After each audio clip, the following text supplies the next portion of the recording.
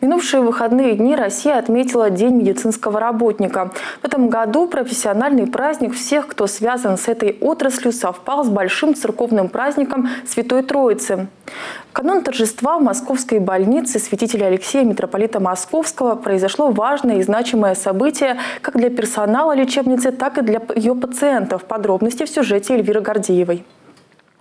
Ежегодно в третье воскресенье июня свой профессиональный праздник отмечают те, кто связан с медициной. Пандемия коронавируса вновь напомнила нам важность профессии врача, причем не только в масштабах города или страны, но и всей планеты. Оказавшись на передовой полосе борьбы с новой угрозой, люди в белых халатах, а в созвучии с нынешней ситуацией в защитных костюмах и масках, молниеносно принимают решения, от которых зависит жизнь и здоровье человека, готовы, если потребуется, пожертвовать своей своей жизнью во имя спасения других. Московская больница святителя Алексея, митрополита Московского, почти 120 лет оказывает бесплатную медицинскую помощь для пациентов из всех регионов России, вне зависимости от вероисповедания. В преддверии Дня медработника встретиться с коллективом больницы и поздравить сотрудников учреждения с праздником прибыл заместитель председателя попечительского совета больницы, глава синодального отдела по церковной благотворительности и социальному служению Русской Церкви и епископ Верийский Пантелеимон.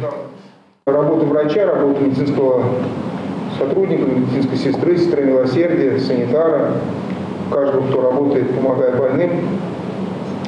Это работа трудная, работа, которая э, более, так сказать, заставляет заботиться о другом. И, конечно, особенно э, это становится трудным вот в нашу ковидную эпоху. Хочется еще еще раз говорить вам спасибо, еще еще раз благодарить вас.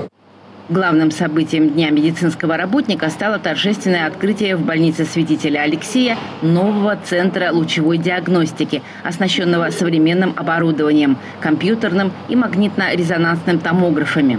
Аппаратура была закуплена на средства, выделенные Московской патриархией президентом компании «Норникель» на борьбу с коронавирусной инфекцией.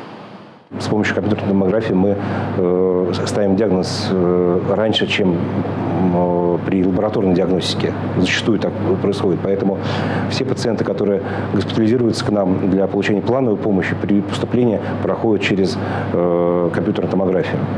Вот. Также э, компьютерный томограф э, помогает нам в э, диагностике пациентов, которые к нам обращаются в амбулаторном порядке для исключения или подтверждения коронавирусной инфекции.